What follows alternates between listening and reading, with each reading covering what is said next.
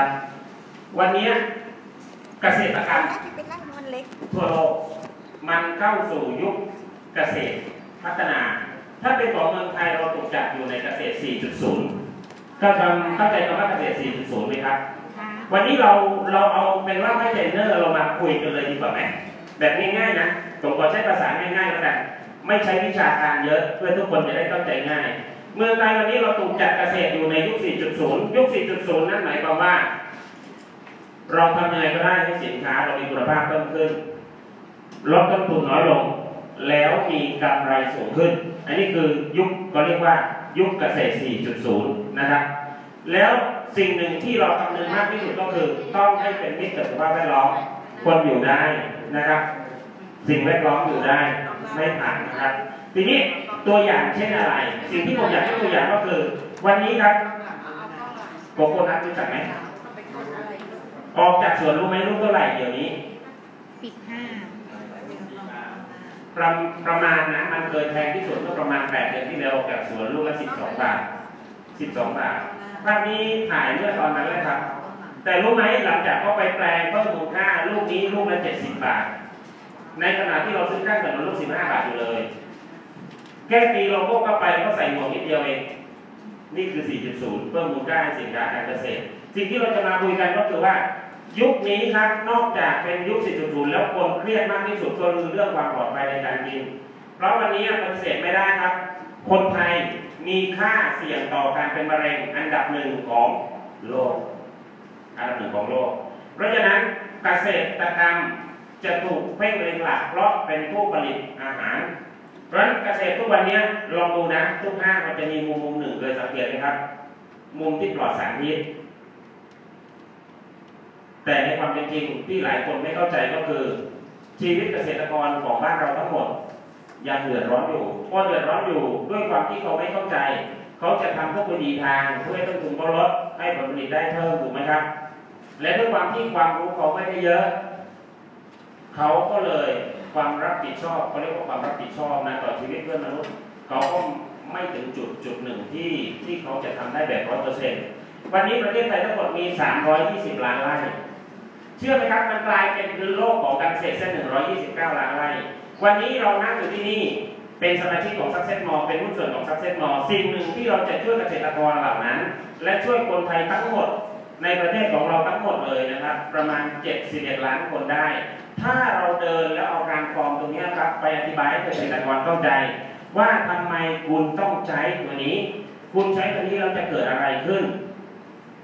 แล้ววันนี้ถ้ารู้ความรู้ทั้งหมดแล้วกล้าเดินไปบอกเขาไหมครับ เอาจริงๆนะ วันนี้คุณหมอสอนเราให้เป็นผู้ให้อย่าเป็นผู้รับ เพราะถ้าคุณยิ่งให้คุณจะยิ่งได้ วันนี้ความรู้ทั้งหมดเท่าไหร่ที่ผมส่งต่อออกไปนะครับ จงพยายามส่งความรู้นี้ต่อ เพื่อเกษตรกรของเราจะได้มีชีวิตที่ดีขึ้น เกษตรกรของคนไทยน่าสงสารมาก แล้ววันนี้เรื่องที่เราจะพูดกัน ก็คือปรางฟอร์มพลัสอาหารพืชที่เราเรียกอีกอย่างคือแอนเอนไซม์ออร์แกนิกนะครับปลอดเคมีร้อยเปอร์เซ็นต์ปลอดสารเคมีร้อยเปอร์เซ็นต์ใครก็แล้วแต่เกษตรกรคนไหนก็แต่ที่ใช้ตัวนี้ เกษตรกรนั้นจะลืมตาอ้าปากได้ และจะมีชีวิตความเป็นอยู่ที่ดีขึ้นแน่นอน ก่อนหน้านี้เรามีผลิตภัณฑ์ตัวหนึ่งในหมวดนี้เหมือนกันเรียกว่า Transform ไม่ทราบว่าตั้งใจมาทานบ้าง Transform Transform เฉยๆนะอ่า Transform ดีไหมครับดีก่อนหน้านี้ดีดีมากผมบอกเกษตรกรทั้งหลายพอได้ใช้ Transform แล้วมักติดใจทั้งนั้น แต่พอมาเจอ Transform Plus โอ้โหโคตรดีกว่าไปอีกดีกว่าไปอีกผมบอกว่าวันนี้หลายท่านเดินเข้ามา Successmore เป็นเรื่องที่ถูกต้องที่สุด และจงมั่นใจแต่ว่าขอเพียงท่านโฟกัสกับ Successmore ทุกระยะทางชีวิตท่านจะประสบความสำเร็จเร็วแน่ในเร็ววันนี้นะครับ เพราะฉะนั้นเราจะเข้าเรื่องก็เลยว่า การฟอร์มพลัสนี่มันต่างจากการฟอร์มตัวเดิมยังไง ตัวเดิมยังไง หลายคนเคยขายแต่ยังไม่เคยใช้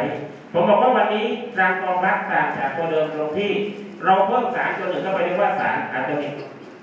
สารตัวนี้ทำหน้าที่อะไร สิ่งที่มันทำหน้าที่ก็คือ มันไปกระตุ้น การเติบโต การเจริญ การแตกแขนงของรากให้มากขึ้น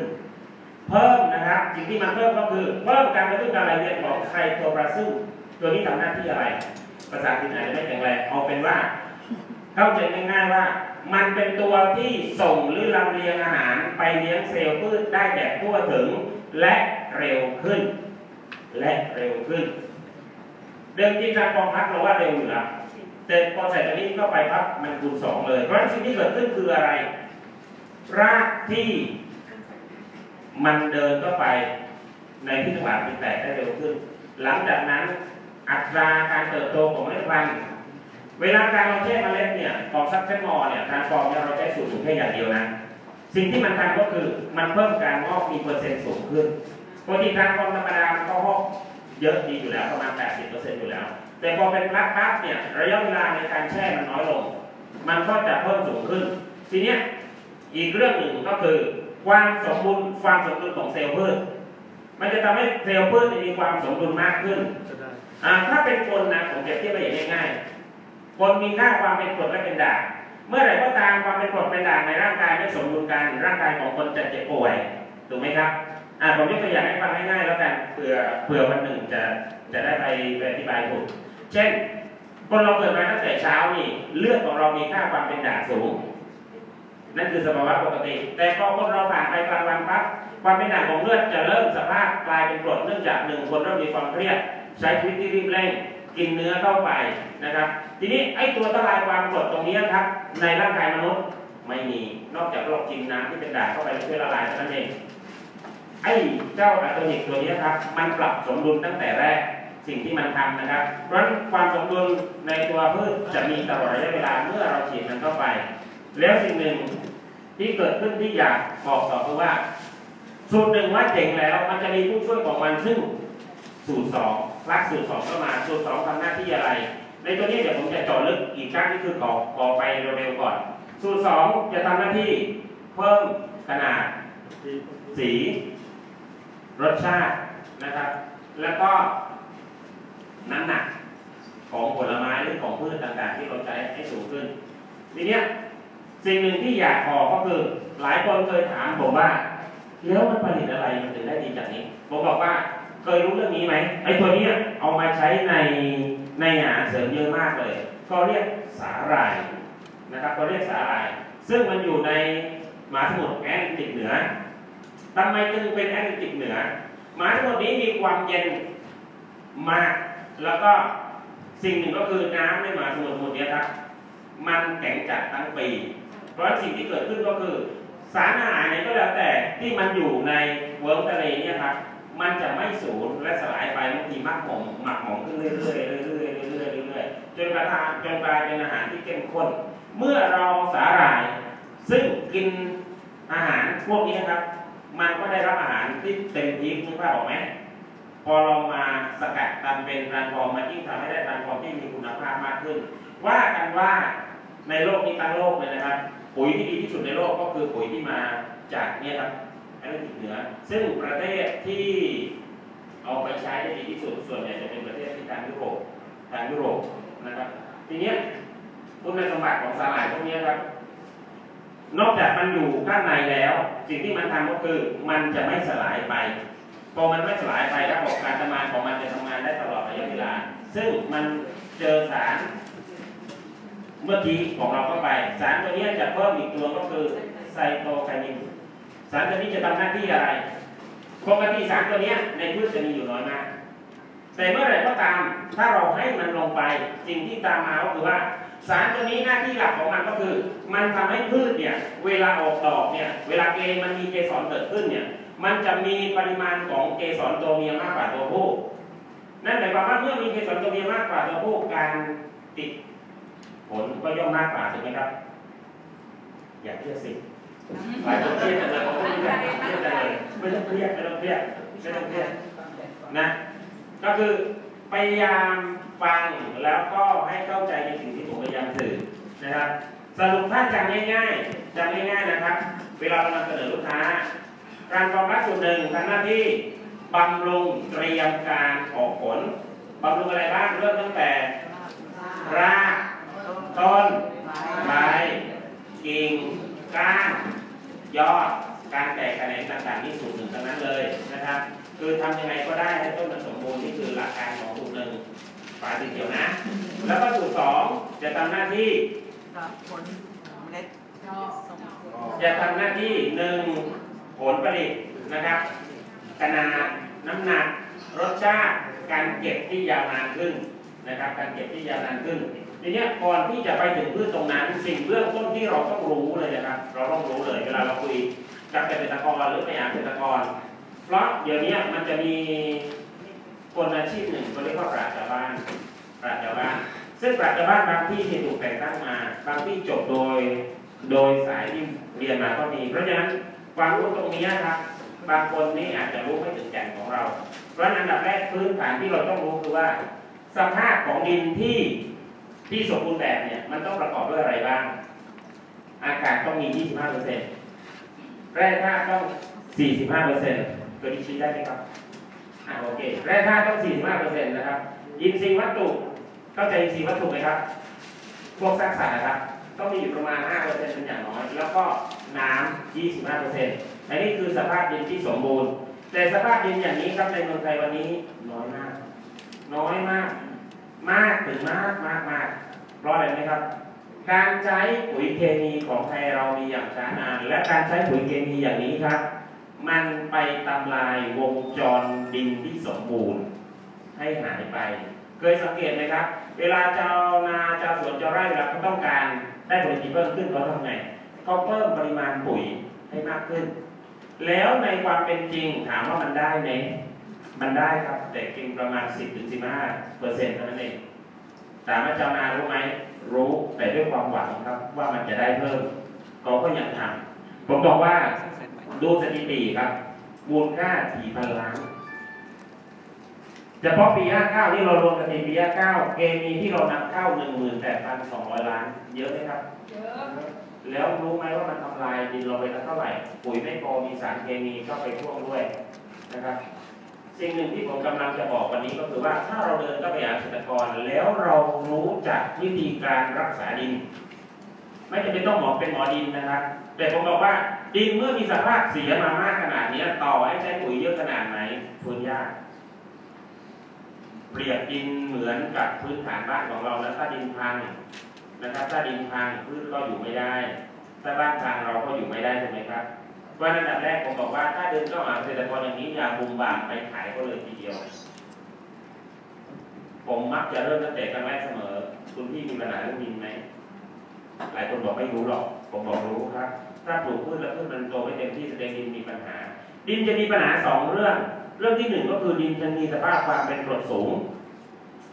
สองดินจะมีสภาพความเป็นด่างมากเกินไป อะไรก็ตามที่มากเกิน มันจะทำให้พืชกินอาหารไม่ได้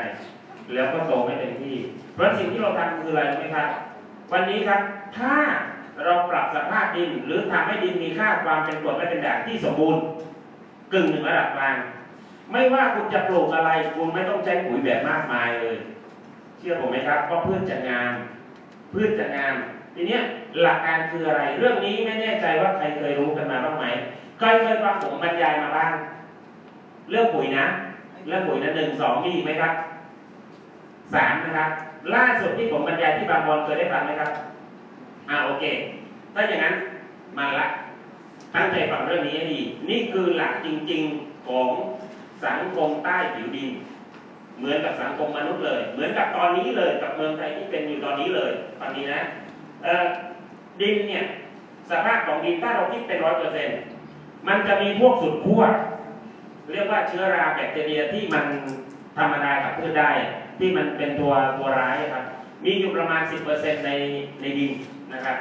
ทีนี้ในขณะที่มันมี 10%มันก็จะมีกลุ่มตัวที่เป็นตัวดีหรือตัวส่งเสริมอะมีอีกประมาณ 10%เหมือนกัน ทีนี้ไอ้สองตัวนี้มันสู้กันอยู่ ในใต้ดินซึ่งเราไม่เห็นหรอกครับ เหมือนชีวิตคนเหมือนไหมคล้ายๆตอนนี้ไม่เมืองไทยมันสู้กันอยู่อะเหลือ 80%อยู่ตรงกลางไอ้กลุ่มนี้ยังไม่เฮไปไหนคล้ายๆใครบางคนไหมคล้ายๆนะทีนี้ไอ้กลุ่ม 80%มันรอว่าให้กลิ่นไหนชนะ มันจะเข้าเป็นกลุ่มพวกนั้น ยิ่งคล้ายไปใหญ่เลยใช่ไหมครับ ถูกไหมครับ เพราะฉะนั้น10%ของแบคทีเรียอยู่ในกลุ่มดีนะครับ ซึ่งผมเรียกว่ากลุ่มสร้างสรรค์กับ10%ของกลุ่มทำลายที่มันสู้กันอยู่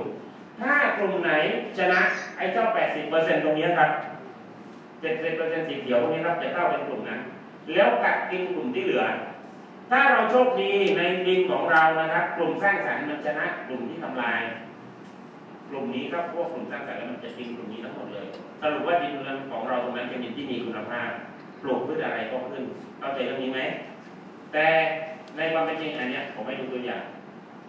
ให้ดูตัวอย่างจุลินทรีย์กลุ่มเป็นกลางที่มีมากที่สุด แต่ถ้าเกิดว่าไอ้กลุ่มสร้างสรรค์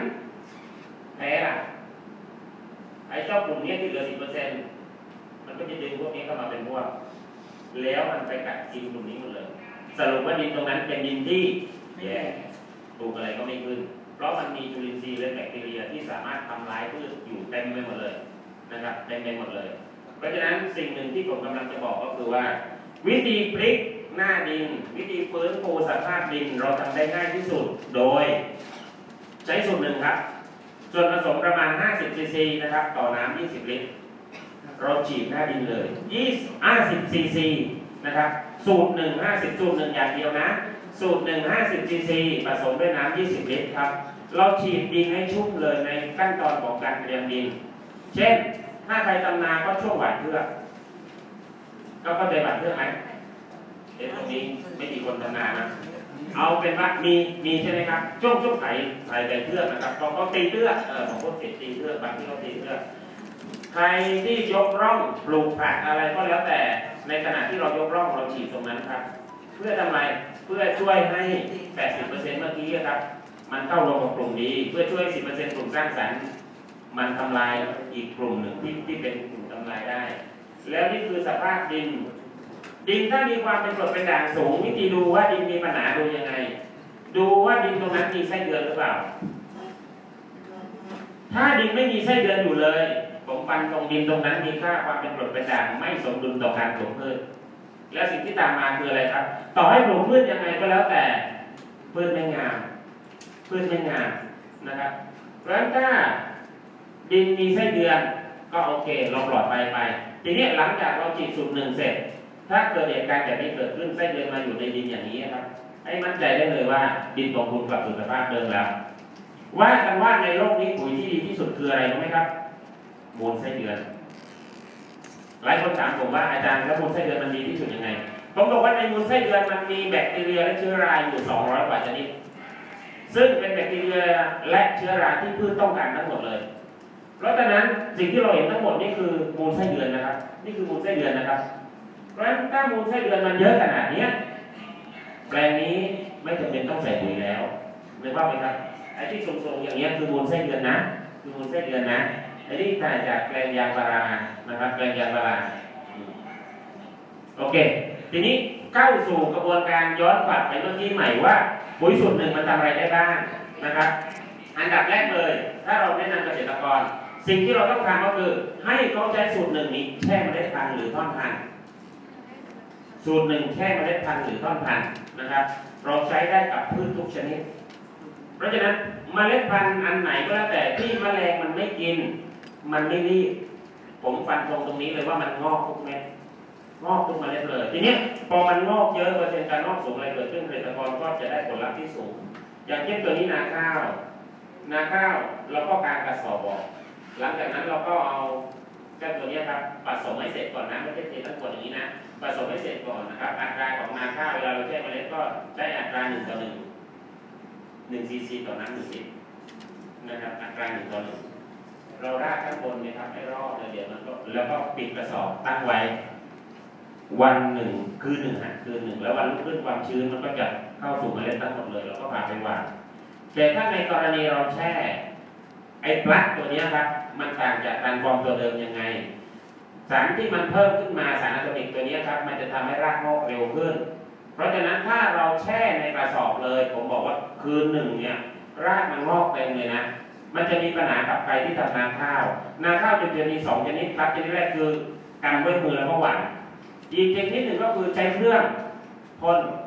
ใช้เครื่องพ่นเคยเห็นใช่ไหมครับเนี่ยแสดงว่าใกล้ชิดกับนาข้าว ถ้ามันงอกรากเยอะมันพ่นไม่ออก มันพ่นไม่ออก เพราะฉะนั้นถ้าในกรณีที่เขาใช้เครื่องพ่นให้เขาแค่สามถึงห้าชั่วโมงพอแล้วไม่ควรเกินห้าชั่วโมงเพราะรากมันงอกแน่ครับพองอกเสร็จมันจะติดเครื่องแล้วมันก็พ่นไม่ได้ ในกรณีที่เราเจอชาวนานะครับชาวนานะครับแต่ถ้าก็หวานอยู่แล้วไม่มีปัญหา ก็เตรียมเครื่องเสร็จแล้วเขาก็หวานปั๊บมันก็ มันก็งอกเลยกระบวนการก็คืองอกเลย ถ้าเป็นมันสำปะหลังให้ผสมในถังแบบนี้ อัตรามันสำปะหลังก็เหมือนกันครับหนึ่งต่อหนึ่งหนึ่งซีซีต่อน้ำหนึ่งลิตรใช้สูตรหนึ่งอย่างเดียวนะ แล้วเราก็แช่ท่อนพันลงไปอย่างนี้เลยแช่ท่อนพันลงไปอย่างนี้เลยทีนี้หลังจากเราแช่เสร็จอะถ่ายเลยครับหลังหลังหลังจากเราแช่เสร็จสิ่งที่เกิดขึ้นคืออะไร กระบวนการทั้งหมดเนี่ยครับการงอกของรากเนี่ย มันจะงอกได้เร็วเหมือนที่ผมบอกในสารคดีที่ ที่เพิ่มเข้ามาครับ ภาพตัวนี้ผมเปรียบเทียบให้เห็นก่อนกับหลังนะครับผักตัวนี้เป็นผักไอโตรโพลิกซึ่งเราสามารถเห็นข้างในมันมันชัดมาก มันกระตุ้นการงอกรากไอเจ้าตัวพลัสตัวนี้กระตุ้นการงอกรากได้อย่างดีเยี่ยมนะครับ อย่างดีเยี่ยมเลย แล้วก็เท่านั้นไม่พอครับ นอกจากมันงอกได้อย่างนี้มันงอกในปริมาณที่มากด้วย เพราะฉะนั้นอาหารเวลาเราใส่ให้มัน มันก็จะกินได้เยอะ เหมือนคนนะครับ ถ้ามีความจุเยอะกินได้เยอะคนนั้นก็อ้วนถูกไหมครับพืชก็เหมือนกันสมบูรณ์หลักการเดียวกันเลยใช้หลักการเดียวกันนะครับผมขอไปเร็วๆแล้วกันเพราะว่าเวลามันมันมันข้อมูลเยอะนะครับข้อมูลเยอะตัวนี้เปรียบเทียบกับมะนาวนะครับมะนาวอะตัวนี้เห็นชัดๆขนาดจุดขายเวลาผมลงนำเสนอกับกลุ่มลูกค้าทั้งหมด ผมให้เขาจับตาดูตรงนั้นเลย ให้จับตาดูก่อน ก่อนที่เราจะใช้ทางกรองกับหลังทางกรองอันนี้เป็นเป็นตัวนี้เป็นเรื่องของจิตวิทยานะอ่าผมบอกว่าการแตกของอย่างนี้ครับ หลังจากฉีดตอนเย็นปั๊บตอนเช้ามันแตกอย่างนี้เลย อย่างนี้เลยนะครับวันเดียวเลยนะวันเดียวเลยนะเพราะนั้นต้องจับตาดูเลยนะครับอันนี้คืนเดียวครับทั่วไปมันจะเป็นอย่างนี้เลย แล้วก็ความสมบูรณ์ทุกอย่างมันจะแตกเห็นชัดอย่างเช่นนาข้าวนะครับนาข้าวถ้าเดิมเดิมเดิมเดิมตัวนี้ครับสิ่งที่เยอะเลยเป็นเท่าตัว มันจะเป็นเท่าตัว เพราะฉะนั้นถ้ารากเยอะ สิ่งที่ตามมาหนึ่งลำต้นแข็งแรง เวลามันสุกเนี่ยครับ มันจะยืนต้นสุกเลยไม่ล้มนะปกติข้าวทั่วไปเวลาสุกจำได้ไหมครับ มันจะล้มมันจะเอ็นตามรูปลงไปเลย แต่ข้าวของซักเซ็ตมอบอกเกษตรกรไว้เสมอว่ามันไม่ล้มนะครับต้นมันจะแข็งแรงมากต้นมันแข็งแรงมาก และนี่คือ before after ก่อนวันนี้ครับถ้าเดินไปหาเกษตรกร แล้วอยากเก็บยอดขายแบบได้ร้อยเปอร์เซ็นต์ผมบอกว่าสิ่งที่เราต้องมีคืออะไรนะครับ ภาพ before after ของพืชแต่ละชนิด ควรจะมีเป็นอย่างยิ่ง ผมเคยสอนลูกศิษย์ผมเสมอว่า คนจะจำภาพได้ดีกว่าจำเสียง และคนจะเข้าใจภาพได้ดีกว่าเสียง เพราะถ้าคุณมีภาพเดินไปหาเขา มีผลลัพธ์เป็นตัวอย่างเดินไปหาเขา ความเชื่อเข้ามาแล้วครับ 60%อยู่ที่เหลือก็คือกระเป๋าในทางเอ้ยตังในกระเป๋าเขามีป่ะ ถ้ามีครับทุกอย่างมา เชื่อผมนะปิดปิดง่ายมากถ้าเรามีถ้าเรามีภาพอะเมื่อกี้ผมบอกว่า ของเรายืนสุกจำได้ใช่ไหมครับ ของเรายืนสุกแล้ว แล้วที่เด็ดกว่านั้นก็คือว่าเมล็ดทุกเมล็ดของผลลัพธ์ที่เราได้มันจะเท่ากันทุกเมล็ดเลยอันนี้คือความเจ๋งของมันนะครับ ความเจ๋งของมัน แล้วก็ตัวนี้ให้ดูผลลัพธ์เรื่องมันกินแบบคูณสองปลูกร้อมกันนะครับปลูกร้อมกันนะครับ ตรงนี้ไม่ใช้ เนื่องจากร่องติดกันนี้เราบอกร่องมาเปรียบเทียบกัน ร่องนี้เราใช้ต่างกันอย่างชัดนะฮะภาพอย่างนี้ครับต้องมีเวลาเราเดินไปหาเกษตรกร สิ่งหนึ่งที่ผมย้ำเสมอก็คือมืออาชีพคำว่ามืออาชีพ ซึ่งวันนี้ผมผมจ่อหัวไว้ว่าทางฟอร์มละสิ่งที่มืออาชีพต้องรู้นั่นหมายความว่าอันดับแรกมืออาชีพจะต้องรู้เลยว่าผลลัพธ์หลังคุณใช้ไปแล้วเป็นยังไง แล้วมืออาชีพเมื่อเดินไปหาเกษตรกรมืออาชีพจะต้องรู้อันดับแรกว่าจะคุยยังไงหรือเอาเสนอแบบไหนเขาจะเข้าใจ ผมบอกวันนี้ถ้าอยากเป็นมืออาชีพการฟอร์มสิ่งที่คุณต้องมีคือผลลัพธ์ของการฟอร์มผมบอกว่าถ้าใครมีแบบใดเดี๋ยวทั้งหมดนี้เอาไปจากผมได้เลย เชื้อราชนิดหนึ่งที่อยู่ในกะลากนะครับ ที่อยู่ในกออะผมเข้าไปก่อนเมื่อกี้กางไปนิดหนึง เมื่อกี้สารที่เพิ่มมาในในสูตรสองจำได้ไหมครับว่าชื่ออะไรไซโตไคนินสูตรหนึ่งชื่ออะไรพาโทนิกอะโตนิกถูกไหมครับอะโตนิกมันกระตุ้นเรื่องอะไร กระตุ้นสารตัวนี้ครับไซโตโคนินสองตัวนี้มาพร้อมกันเมื่อไหร่ สิ่งที่มันทำกับพืชก็คือ มันทำให้พืชตัวเนี้ยทนความแห้งแรงได้ดีมาก แล้วพืชตัวนั้นจะทนต่อเชื้อราได้ดีมาก แล้วเมืองไทยครับเกือบทุกภาคที่เป็นของเกษตรกรที่เกษตรกร สิ่งที่เกิดขึ้นก็คือภาวะการเปลี่ยนจากพันของอุณหภูมิกลางวันร้อนร้อนจัดสังเกตไหมเดินกลางแดดยังไม่ได้เลยมันไหมแต่พอคืนเย็นปุ๊บลงมาอุณหภูมิมันลดทันทีพอลดทันทีปั๊บสิ่งที่เกิดขึ้นพืชไม่ต่างจากคน คนถ้าเจอเหตุการณ์อย่างนี้ปั๊บช็อกไม่สบายพืชช็อกเหมือนกันนะเพราะฉะนั้นถ้าเมื่อไหร่ก็ตามไอ้เจ้าอะโตนิกกับไซโตโคนินทำงานร่วมกันเมื่อไหร่ สิ่งที่เกิดขึ้นก็คือมันทำให้พืชมีความทนทานมากขึ้น แล้วสิ่งที่เรื่องหนึ่งที่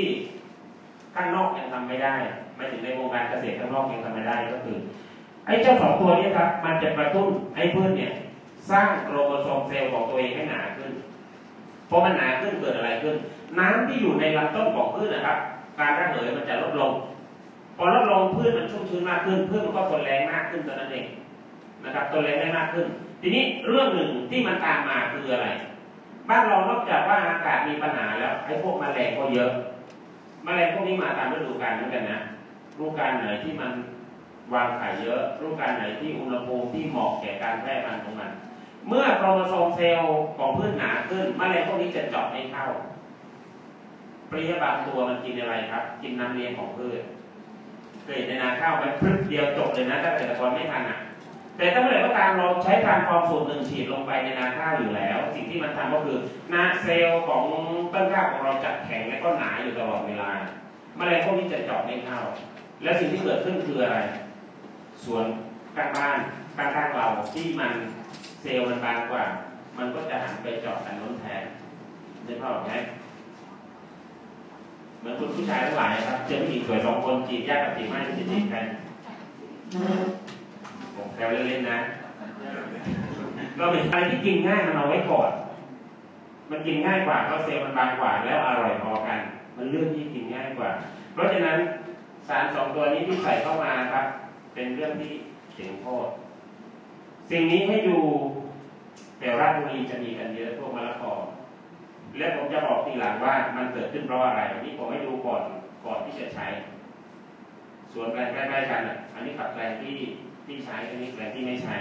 นะครับ แล้วก็ผมให้ดูไปเรื่อยๆ นี่เป็นปาล์มก่อนที่เราจะฉีดก็เรียกมอสมอสมันมาเกาะเตรียมที่จะติด แล้วหลังจากนั้นไม่นานจากตัวนี้ก็มันจะแปลงเป็นฝั่งโน้นนะครับฝั่งโน้นคือหลังการใช้สามเดือน ปกติปาล์มทั่วไปเนี่ยหลังจากปลูกเสร็จประมาณ 3 ปีเราจะเก็บผลผลิตมันได้นะครับ การแต่กลายครั้งที่หนึ่งที่สองก็แทงทิ้งไม่เอา มาที่เฉลี่ยประมาณ 3 ปีปาล์มหลังจากผมลงแปลงแล้วเก็บสถิติครับ เมื่อขึ้นปีที่สี่ย่างเข้าปีที่ห้าผลผลิตจะเพิ่มขึ้นถึงสิบเท่าเป็นสิบเท่านะครับ เพราะฉะนั้นสิ่งที่ทางฟอร์มทำทำเรื่องอะไรทางฟอร์มจะทำให้เกษตรกรคุ้มค่าเงินของการลง หลายคนเคยถามผมว่า แล้วมันคุ้มคุ้มแบบไหน แล้วมันคุ้มแบบไหน มันคุ้มแบบไหน ผมบอกว่าเกษตรกรถ้าเขาใช้ปุ๋ยนะครับทั่วๆไปอย่างข้าวหนึ่งไร่ เขาจะใช้ปุ๋ยหนึ่งกระสอบหนึ่งกระสอบ แต่ความเจ๋งของการฟอร์มพัดก็คือ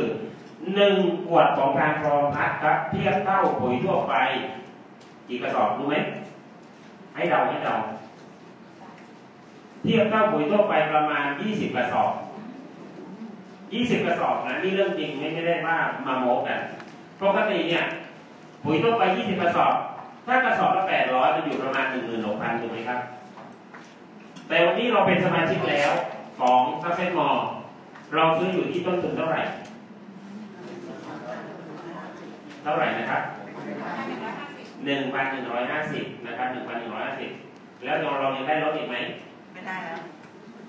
ตามแผนการตลาด 55%จะถูกจ่ายกลับมาที่เราเพราะฉะนั้นอีก 55%ของ1,000และนี่55%ของ 250จะถูกจ่ายกลับมาที่เรา ผมบอกว่าวันนี้ครับสิ่งนี้ที่เราต้องชี้ให้ชัดกับเกษตรกร สิ่งนี้ที่มืออาชีพจะต้องรู้ ปุ๋ยของเราหนึ่งขวดเทียบเท่า ปุ๋ยกระสอบ20ลูก20ลูก เพราะฉะนั้นอัตราของการใช้หลายคนไปถามผมว่า แล้วถ้านาหนึ่งไร่ใช้กี่ขวดล่ะอาจารย์ผมบอกว่าผมคิดมาให้เสร็จสับเลยนาหนึ่งไร่เราฉีดจานฟอร์มทั้งหมดห้าครั้งต้นทุนต่อไร่จะไม่เกิน335บาท ผมคิดได้เปลืองเลยนะ แต่จริงๆนะเป็นเสร็จผมคิดตอนแรกได้225บาทเอง แต่ผมเผื่อว่าคนบางคนที่ฉีดเปลืองมันก็มีถูกไหมประเภทที่เขียนเดินอะเดินช้าๆหน่อยก็ได้ มีเวลาฉีดอะ ก็เฉลี่ยว่า335บาท จากเดิมทีนาต่อไร่จะมีต้นทุนอยู่ที่ประมาณ2,800ถึง3,200ต่อไร่ที่เกษตรกรเคยทำเปลี่ยนมาใช้การกรของเราจะเหลือไร่หนึ่งจะเหลือ335บาท คิดว่าถ้าเข้าราคาเดือนละ2,000จะนาขาดทุนไหมครับ ไม่ขาดยังไงก็ไม่ขาด แล้วก็ทำง่ายด้วย ไปนาทำยังไง ถือกระป๋องไปกระป๋องเดียวครับกับเป้สบายหลังน้ำไปหาเอาข้างหน้า ได้เลย แต่อย่างเมื่อก่อนถ้านา20ไร่ใส่มอเตอร์ไซค์ไงบางทีมันล้มข้างหัวนาแล้วก็มีแท็กแท็กแท็กแท็กแล้วบอกขาดหมดบอกขาดหมด บางคนเท่านั้นไม่พอลูกวันนี้เขาไปเล่นนะช่วยแบกปุ๋ยแบกพ่อเนี่ยท้อง ซึ่งเด็กมันก็อยากไปเล่นนะครับอะไรเงี้ยทะเลาะกันอีกระหว่างพ่อกับลูกแต่ปุ๋ยซักเซนมอลวันนี้ครับถือขวดไปสองขวดครับเป้สบายหลังเดินไปเลยครับเข้ามาหนึ่งขวดคุณจีได้ยาวเลย ถ้าหนึ่งขวดคุณจีเดินเลยนะครับ มันจะได้ยี่สิบไร่หนึ่งขวดที่เดินเลยนะยี่สิบไร่คุณจีได้เลยปรับตัวขอยเล็กมากที่สุดนะครับ แล้วลองเฉลี่ยดูนะครับอะอันนี้คือหลังจากใช้กับปาล์มสิ่งที่เกิดขึ้นคืออะไรนะครับปาล์มน้ำมันมันจะเยอะขึ้น น้ำมันจะเยอะขึ้น ถ้าใครเตรียมลงไปสวนปาล์มนะเมื่อกี้มาจากใต้อยู่ตรงไหนเลยปืนของข้างล่างมีปาล์มเยอะในภาคใต้นะครับ เตรียมเรื่องนี้ได้เลยนะครับภาพพวกนี้จะต้องมีนะครับ มันเด้งมันเด้งอืมแล้วเมื่อกี้สูตรสองจุดเด่นของสูตรสองเรื่องอะไรนะครับ มันเพิ่มน้ำหนัก เพิ่มน้ำหนักสีขนาดนี่คือจุดเด่นของสูตรสองนะครับ อันนี้ผมยกตัวอย่างให้ดูกับพวกบวกอ่าก็ยังบวกขนาดนี้เนี่ย มันเกือบเท่ขวดที่เราถืออยู่เลยนะวันนี้สงสัยต้องถอดแว่นแต่แว่นมันมองไม่ชัดนี่แสดงว่าตั้งใจฟังกันอยู่แสดงว่าตั้งใจฟังกันอยู่เราจะสอบจะสอบจะสอบก็เห็นขนาดที่มันเกือบเท่าขวดอย่างนี้ไหมไม่มีเนาะไม่ค่อยมีนะอันนี้ให้ดูอะไร ผมบอกว่าก่อนที่จะเริ่มลงแปลงสิ่งที่เราจะต้องมีนะครับเกษตรกรเพื่อให้เขาได้ใช้ปุ๋ยของเราตลอดการถ่ายภาพเก็บไว้ก่อนก่อนที่เราจะเริ่มฉีดดีที่สุดภาพนี้เมื่อวันที่ 19 เดือน1ปี 59 การลงแปลงข้าวโพดสิ่งที่เราเห็นก็คือข้าวโพดแปลงนี้ ไม่งามเลยขาดปุ๋ยอย่างแรง เพราะอะไรไหมครับ การใช้ปุ๋ยหลักการธรรมชาติเนี่ยเมื่อเราหว่านปุ๋ยเสร็จคุณรู้ไหมเพื่อจะได้กินกี่วันจะได้กิน เจ็ดวันครับ มันต้องผ่านกระบวนการสังเคราะห์แสงลงมาก่อน แล้วกระบวนการจุลินทรีย์ในการส่งอาหารปรับกระบวนตรงนั้นประมาณเจ็ดวันเพื่อถึงจะได้กิน แต่ถ้าเป็นของเราพอฉีดปั๊บยี่สิบนาที มันจะซึมเข้าสู่โครโมโซมเซลล์ชั้นในส่วนของพืชแล้วพืชเอาไปใช้ได้เลย อันนี้อันนี้คือของเรานะ เพราะฉะนั้นแปลงนี้ตอนไปเจอครั้งแรกวันที่สิบเก้ามันโทรมมาก หลังฉีดครั้งที่หนึ่งครับ เปลี่ยนเลยนะครับ วันที่ 28 เดือนหนึ่งหลังจากฉีดไปปั๊บที่ผ่านไป 9 วันนะครับแล้วหลังจากนั้นอีก 9 วันเราฉีดอีกครั้งที่สองความเจริญเห็นชัดมาก สิ่งพวกนี้ครับที่มืออาชีพจะต้องทำคุณต้องเก็บภาพไว้จำคำผมนะครับ คนจะจำภาพมากกว่าจำเสียง คนจะเข้าใจเมื่อเห็นภาพมากกว่าเข้าใจคนที่อธิบายเก่งกับอธิบายเก่งขนาดไหนก็แล้วแต่ถ้ามีภาพจบเลย แล้วดูผลลัพธ์ของมันครับ ผมการันตีว่าทุกคนไม่เคยเห็นข้าวโพดขนาดนี้ปกติข้าวโพดเนี่ยอะทุกคนอาจจะไม่ทุกคนที่ไม่เคยปลูกข้าวโพดอาจจะมีใครเคยปลูกข้าวโพดบ้างที่นี่นะครับ แต่ผมเชื่อว่าทุกคนเคยกินข้าวโพดต้มเคยใช่ไหมครับต้มหัวมันจะต้องมีฟางสีขาวๆถูกไหมหลักการของข้าวโพดแต่นี่มันไม่มีครับ ด้วยความเจ๋งของการความสุดหนึ่งนะครับ มันทำให้ตั้งแต่แรกๆยันในสุดท้ายที่โตเท่ากันหมดเลยเห็นไหมครับ แล้วลองนึกภาพดูนะครับข้าวโพดหนึ่งไร่ เราใส่ปุ๋ยครั้งละหนึ่งกระสอบ แล้วถ้ายี่สิบไร่ยี่สิบกระสอบ แล้วของเราใช้แค่ขวดเดียวอะครับ อะไรเกิดขึ้นต้นทุนลดแบบมหาศาลเลย แต่สิ่งที่ตามมาจะไม่ดีนะครับ motivate ได้เลย อย่างน้อย 34%ของผลผลิตทุกๆพืชจะเพิ่มขึ้นแน่เมื่อใช้ทานฟอร์มมันสูงสุดถึงขนาด 70%ครับผลผลิตแล้วแต่พืช แล้วแต่พื้นฐานของน้ำความสมบูรณ์ของน้ำนะครับ แต่สิ่งหนึ่งที่เกิดขึ้นก็คือ ต้นทุนเขาจะลดแบบพวกมากเลยลดพวกมากเลย เหมือนที่ผมบอกเมื่อกี้นะครับ ก่อนที่จะไปต่อสิ่งที่ผมจะบอกว่า จริง ๆ อย่างนาข้าวคนทั่วไปทำไมถึงเน้นนาข้าวเพราะส่วนใหญ่ทุกคนเจอเจอ ไร่ชาวนาในดินของเขาอะมันมีปุ๋ยเต็มไปหมดเลยนะปุ๋ยที่มาจากไหนมาจากเคมี แต่เนื่องจากว่าดินมีสภาพความเป็นกรดเป็นด่างสูงพืชออกไปกินไม่ได้ ดินมีค่าความด่างสูงไก่รากขยายไม่ได้ เพราะฉะนั้นไอ้เจ้าสูตรหนึ่งเมื่อกี้ที่เราให้เตรียมหน้าดินจำได้ไหมมันไปทำให้ดินร่วนแล้วมันทำให้ดินขาดเขาเรียกอะไรนะให้ออกซิเจน มันถ่ายเทได้ดี เมื่อมันถ่ายเทได้ดีปั๊บรากเขาแตกได้ดี สุดท้ายมันจะกินปุ๋ยที่เหลือได้เลยครับ หลายคนเคยถามผมว่า ปุ๋ยไม่ใส่ได้ไหมในฤดูกาลแรก ผมบอกว่าได้ถ้าดินสภาพของคุณโอเคคุณปรับมาดีพอทั้งหมดแต่สิ่งหนึ่งที่คุณต้องระวังก็คือว่าอย่าหยุดเลยทีเดียว หลายคนถามผมต่ออีกว่า ก็มันดีไม่ใช่เหรอผมบอกดีครับ แต่สุดท้ายเพื่อนก็คือมนุษย์นั่นแหละมันติดความเคยชินถ้าคุณเคยกินอะไรอะไรแล้วก็หยุดเลย สิ่งที่ตามมาก็คือร่างกายเราจะปรับไม่ทันถูกไหม พืชก็เหมือนกัน ควรจะมีประมาณ 30%ให้คงเหลืออยู่ในฤดูกาลแรก เช่น ถ้านาข้าวเนี่ยสิบไร่เนี่ยเราใส่อยู่สิบกระสอบ ผมบอกว่าคงเหลือไว้แค่สามกระสอบก็พอ ให้เขารู้ว่าอาหารเก่ายังได้กินอยู่นะแล้วค่อยๆเติมอาหารใหม่เข้าไปพอฤดูกาลที่สองนะครับ แล้วคุณค่อยๆลดลงมาอีกให้เหลือหนึ่งกระสอบเดียวก็พอฤดูกาลที่สามคุณไม่ต้องใส่ปุ๋ยเคมีแล้วเลยก็ได้ การฟองมันทำได้ นะครับอะตัวนี้ผมให้ดูขนาดถ้าเห็นในขนาดเนี้ยคิดว่ามันเป็นการทำงานของจุดหนึ่งหรือจุดสองครับจุดสองครับ เราต้องเข้าใจนะ เรื่องนี้มืออาชีพต้องเข้าใจนะครับอ่านี่คือสิ่งหนึ่งที่ผมกำลังเชี้เองว่านี่ก็คือความโตสม่ำเสมอกัน แล้วถามว่าเกษตรกรของเราทำไมต้องรวยล่ะเมื่อใช้การฟองขึ้น สิ่งหนึ่งที่เกษตรกรเจอทุกวันนี้ก็คือ เวลาผลผลิตมันออกมาครับ มัก จะแพ้กลไกของพ่อค้าตรงกลาง พืชหรือสัตว์ทุกชนิดจะถูกแบ่งเป็นสามเกรดเกรด A เกรด B เกรด C บางพ่อค้าบางคนแบ่งเกรด D ก็มีนะครับ ทีนี้ถ้าเป็นเกรด A จะได้ราคาดีหน่อยแต่เมื่อไหร่ก็ตามเกษตรกรใช้การฟองของเราสิ่งที่เกิดขึ้นก็คือพืชจะกลายเป็นเกรด A ทั้งหมดเพราะฉะนั้นกลไกที่พ่อค้าคนกลางมาเปลี่ยนเขาใช้ไม่ได้แล้วเหมือนที่ผมบอกว่าถ้าดอกดาวเรืองทุกดอกมันเท่ากันทั้งหมด ใหญ่ที่สุดเท่าที่ซักเซนมอทำได้ดอกดาวเรืองก็คือวัดเส้นผ่าศูนย์กลางอยู่ที่8เซนติเมตรถือว่าใหญ่มาก8เซนติเมตรเพราะฉะนั้นสิ่งที่เกิดขึ้นคืออะไรชาวสวนจะมีกำไรมาก เพราะมันคือระดับเกรด A บวกถูกไหมครับ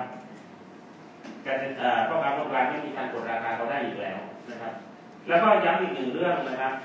ด้วยความที่ว่าของเราไม่มีเคมีผมย้ำนะครับ ไม่มีเคมีทำความเข้าใจกันเรื่องนี้ที่มืออาชีพต้องรู้อีกนั่นแหละ หลายคนเข้าใจคำว่าสารเคมีกับเคมีนี่ไม่มีไม่ถูกต้องถูกไหมครับ ของเรามีเคมีนะครับ แต่ไม่ใช่สารเคมีของเรามีเคมีนะครับ ที่ไม่ใช่สารเคมี เคมีเรามาจากไหน มาจากการสกัดจากแร่ธาตุอย่างเช่น แร่ธาตุสังกะสีตรงนี้ครับ ก็ถือว่าเป็นเคมี แต่แร่ธาตุพวกนี้ครับที่การมาเป็นเคมีมันไม่ทำร้ายมนุษย์นะครับ แต่สิ่งที่มากับข้างนอกปุ๋ยข้างนอกปุ๋ยเคมีของเขาก็มีสารเคมีใส่มาด้วย สารเคมีคือสารอะไรก็ตามที่ใส่เข้ามาแล้วมันกระตุ้นให้ปุ๋ยมันมีค่าเพิ่มขึ้น แล้วเมื่อเจอมนุษย์มันทำลายมนุษย์เจอดินมันทำลายสภาพดินเจอสิ่งมีชีวิตมันทำลายเรียกอันนั้นเขาเรียกว่าสารเคมี แต่พวกเคมีที่สกัดจากแร่ธาตุเช่นสังกะสีบุกพวกนี้ครับ มันไม่ทำร้าย มันอยู่กับธรรมชาติมาชั่วนาตาดีเข้าใจเรื่องนี้นะ เดี๋ยวได้ตอบถูกนะครับ ระหว่างเคมีกับสารเคมี Successmore ไม่มีสารเคมีนะครับทุกชนิดเลยแม้แต่อาหารเสริมที่เรากินอยู่เหมือนกัน คนนี้จำได้ไหมคือใคร ผมต้องการพิสูจน์เฉยๆว่าของเราเห็นไหมไม่ก็ไม่ปิดจมูกเลยอันนี้ผมลงไปบ้าน แล้วพอดีพี่สาวก็ปลูกดอกดาวเรืองไว้อันนี้ผมเมื่อปีที่แล้วนะ ผมจะบอกว่าผมเปลี่ยนนะครับที่ผมให้ดูแตงโม จุดแข็งก็คือถ้าเป็นพืชที่มีผลไม้ผลทุกชนิดเลยนะ จุดแข็งของเขาก็คืออะไรไหมครับขนาดเท่ากันหมดเลย แตงโมก็จะเท่ากันทั้งส่วน เดี๋ยวผมจะให้ดูผมไปถึงอีกพืชหลาย ๆ พืชนะครับ ผมจะข้ามไปเรื่อยๆแล้วแตงโมลูกนี้ดูสีน้ำหนักเท่าไหร่ดูสีน้ำหนักเท่าไหร่เอาปรับไปหน้าแรกขอรบกวนนิดหนึ่งเดี๋ยวรอรอแป๊บหนึ่ง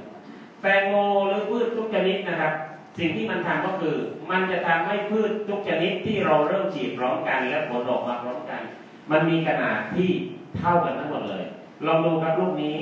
อยู่ที่น้ำหนักกิโลเท่าไหร่สามโล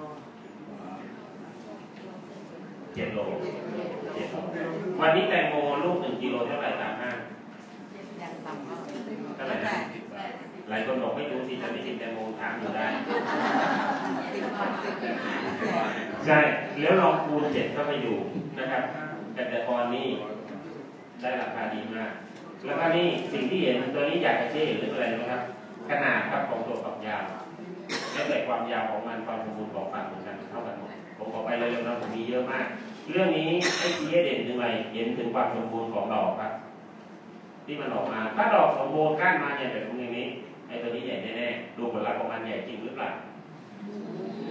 นี่เปรียบเทียบกับแขนคนฉีดนะครับกว่าลองดูนะใหญ่จริงหรือเปล่านี่มันเปรียบเทียบกับแขนคนฉีดนะครับอันนี้คือพันเคยเห็นไหมที่ตัวไปตำต้มตำนะเป็นร้านส่วนตรงนี้เป็นแตงกวานะครับแตงกวาหนึ่งรุ่นคุณจะเก็บได้ต่ำๆห้าครั้ง ซึ่งปกติแตงกวาทั่วไปไปดูแต่ราชบุรีใหญ่เยอะครับก็จะเก็บสามครั้งก็เต็มที่แล้ว แต่ถ้าคุณใช้การพอเมื่อไหร่คุณเก็บได้ห้าครั้งเป็นอย่างน้อยนะครับเผามันจะตายช้ามากมันยืดอายุของเซลล์ไง มาจากตัวไหนนะเมื่อกี้ยืดอายุของเซลล์ลืมหมดแล้วยังไม่กลับเลยคืนหมดแล้วกลับไปดูใหม่เดี๋ยวผมบอกว่าเรื่องอีกเดี๋ยวก็จะเลยตอนหลังอีกรอบหนึงก็ได้นะครับนี่ครับแต่สิ่งที่เห็นนี่เราไม่ได้เล่นมุมกล้องนะครับนี่เรื่องจริง ตะกร้านี้สั่งมาจากสำเพ็งสองนะครับ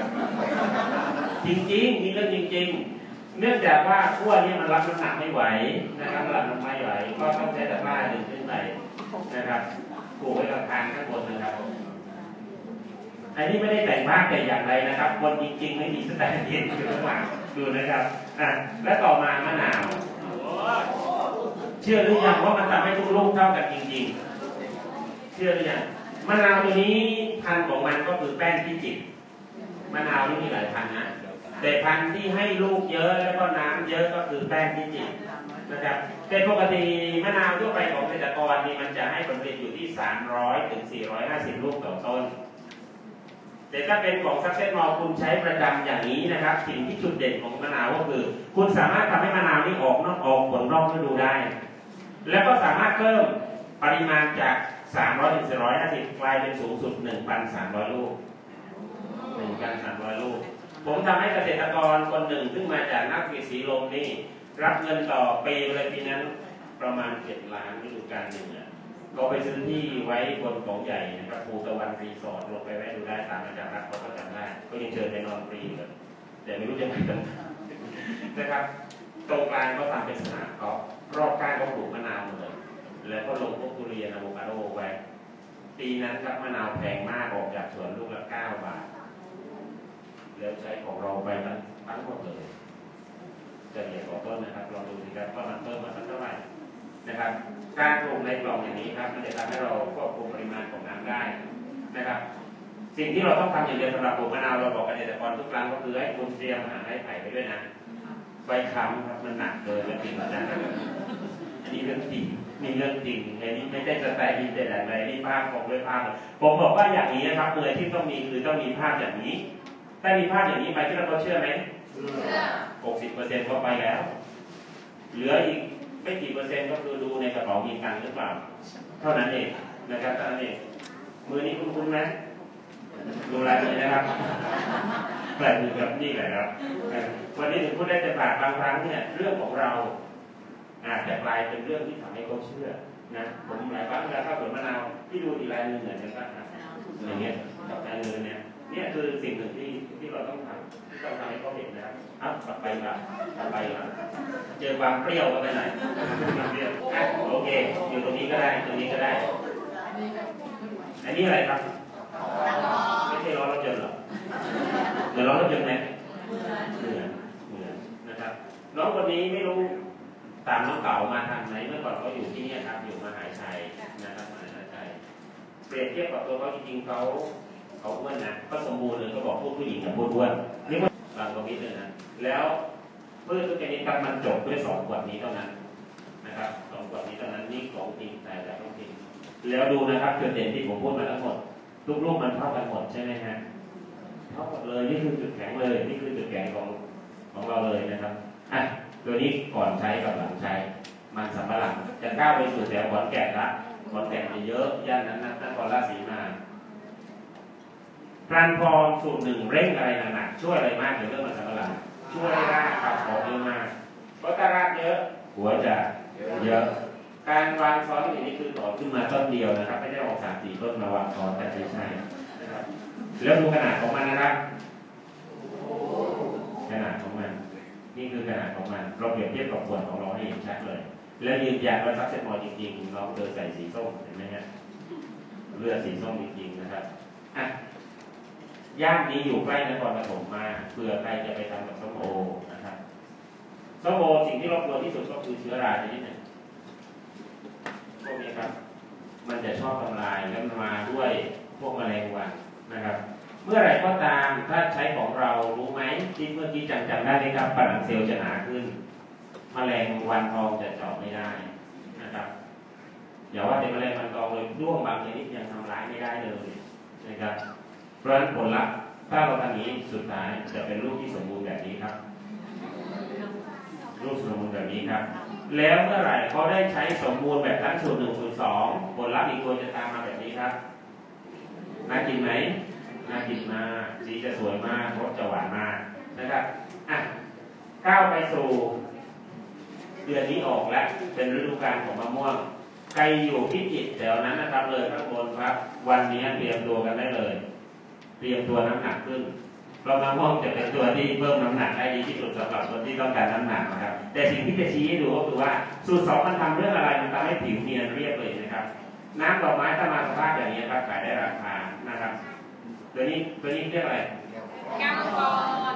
แน่ใจนะแก้วมังกรโอเคตั้งใจฟังเดี๋ยวใส่ได้มองไม่ชัดผิดนะครับ สีสีสันโอเคนะครับจะได้แบบนี้นี่คือการทำงานของสูตรสองแล้วถ้าไม่ลงชิดแบบนี้ล่ะคุณคิดว่าโรเท่าไหร่เห็นไหมครับมันนวลละอองกันเลยนวลละอองกันเลย คือจุดเด่นของเราของการฟอร์มคือเราจะทำให้ผลผลิตของเราเป็นแบบไหนก็ได้ตามที่เราต้องการขอเพียงเราเข้าใจมันเท่านั้นเอง นะครับเข้าใจมันเท่านั้นเองคิดไว้ตรงนี้มีมากในภาคอีสานเขาเรียกมันอะไรนะไม่ไม่ใช่แก้วเอ๊ะมันเทโอเคสรุปว่าแว่นมันบางเสียงอยู่นิดนึงกลัวจะหลับเดี๋ยวไปก่อนนะครับมันเทศอะทีนี้หน่ออ้อยอ่าปกติอ้อยทั่วไปนะครับ ทุกพื้นที่เลย เต็มที่ก็ปลูกได้สามต่อ ใครเคยรู้จักกับคนปลูกอ้อยหรือปลูกอ้อยบ้างไหมครับในรอบนี้มีไหมมีนะที่บ้านได้กี่ต่อครับสามต่อหลายคนสงสัยว่าต่อคืออะไรวะอาจารย์ก็พูดไม่หมดต่อก็คือหลังจากเราฟันเสร็จแล้วเราไม่ได้ปลูกใหม่ เราแค่บำรุงมันแล้วมันจะงอกขึ้นมาใหม่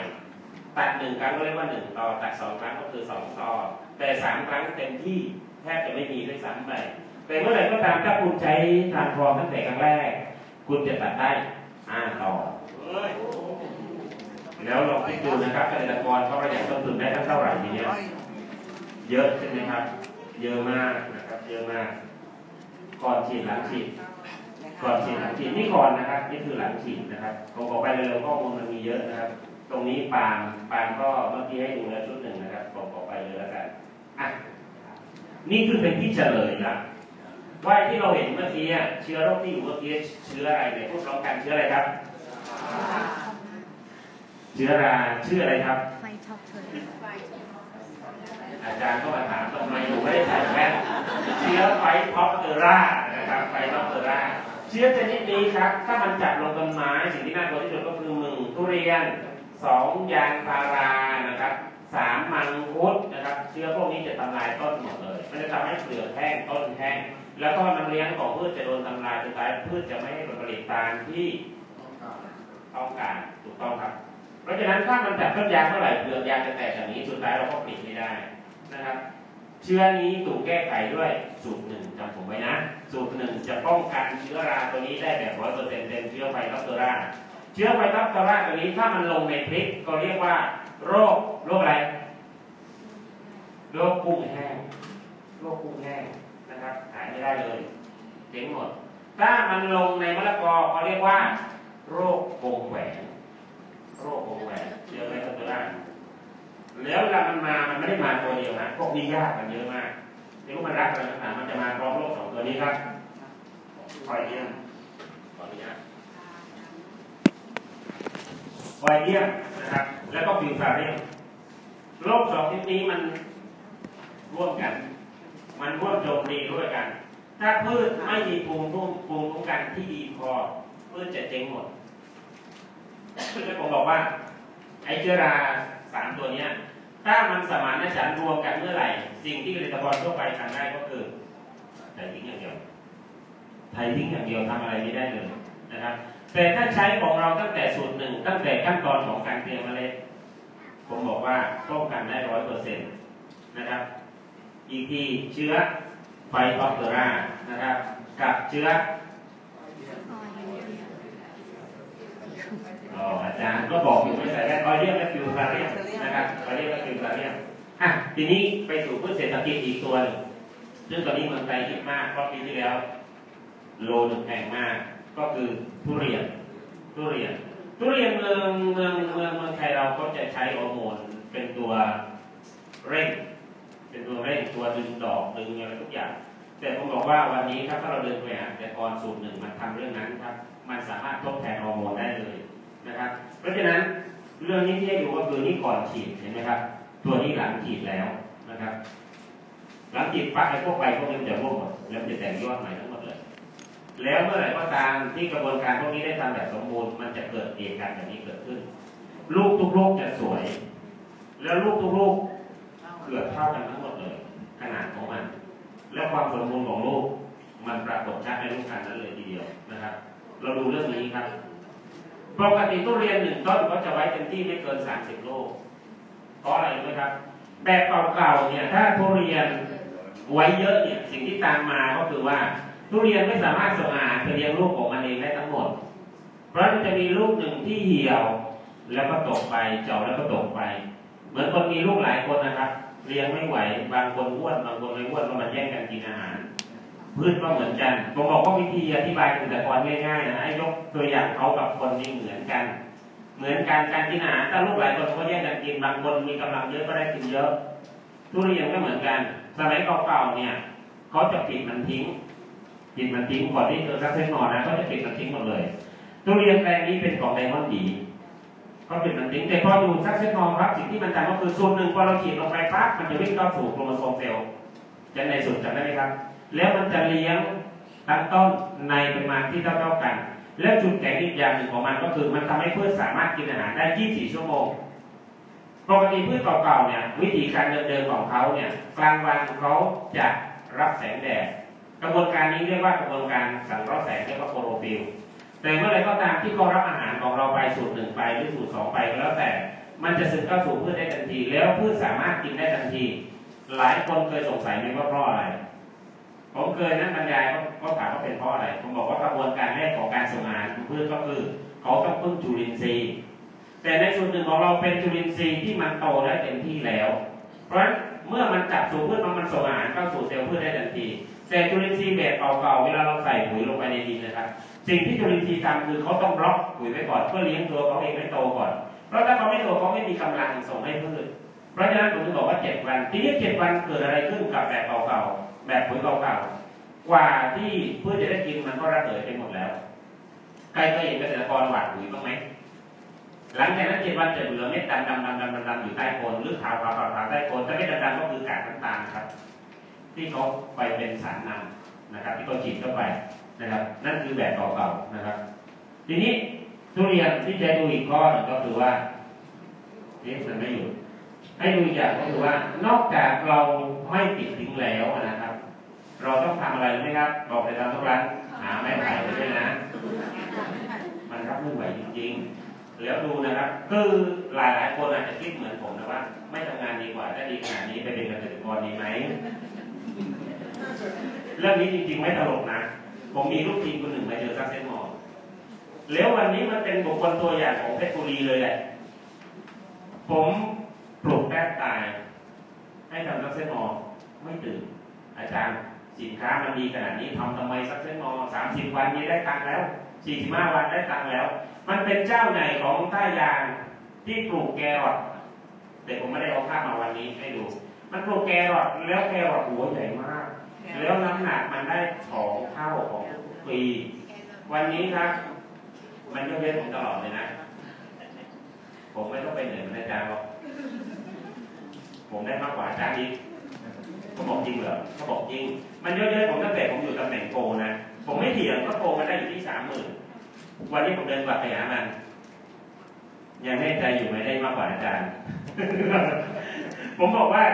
หลายๆคนเห็นของดีขนาดนี้อยากจะไปทำสวน ผมบอกทำได้ครับทำสวน แต่สิ่งหนึ่งนะครับทำควบคู่สักเส้นมออย่าทิ้งเพราะผลลัพธ์อันนี้คุณก็ได้ ผลลัพธ์ข้อที่สองเมื่อคุณเป็นเจ้าของสวนเองคุณจะรู้จักเกษตรกรมากขึ้น จุดเด่นของซักเส้นมอหลายคนเคยมาทำและสงสัยว่าทำไมมันเกิดคนยากจำได้ไหมครับ หลายคนเห็นเรื่องนี้ไหมอ่าพอมาเรื่องเกษตรสักนิดหนึ่งผมบอกว่าการที่ชวนคนยากเพราะจริงๆเรายาก เรายากก่อน หนึ่งเราเป็นคนที่เรียนรู้ยากสองเราเป็นคนที่บอกหรือส่งต่อเล่าให้คนอื่นฟังยากสามเราเป็นคนที่เข้าใจยากเพราะฉะนั้นคนอื่นยากอ่านเราไหมยากแต่จริงๆผมบอกว่าง่ายๆต่อการทำก็ได้บอกเข้าใจให้ง่าย ๆ แล้วส่งต่อแบบง่ายๆ ไม่ต้องมีพิธีมีตรองอะไรมากมาย เข้าใจยังไงอธิบายอย่างนั้น แล้วเอาภาพประกอบไปด้วย หลังจากคุณเอาภาพประกอบไปสิ่งที่เกิดขึ้นคืออะไรเขาจะเข้าใจโดยทันที นะครับ แล้วด้วยความเจ๋งของของไอ้เจ้าการรองรัฐตัวนี้ว่าจริง ๆ เรามีมีทุกอย่างให้หมดเลย ที่เป็นตัวสื่อเพื่อให้คนอื่นเข้าใจ แล้วเมื่อกี้อะอะโทนิกคืออะไรครับ อยู่ในส่วนไหนหนึ่ง